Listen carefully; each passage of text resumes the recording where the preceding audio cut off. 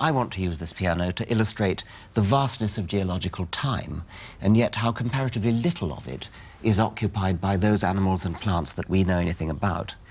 If we have the origin of life at the bottom of the piano there, and recent times at the top, I find it astonishing that we have nothing but bacteria all the way up here, past Middle C, way up to about here when more complicated cells than bacteria first evolve.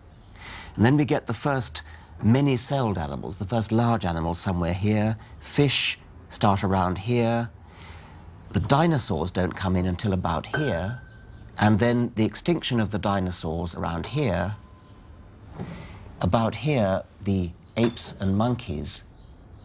And the whole of human history would occupy a space less than the width of one piano string right at the top of the keyboard.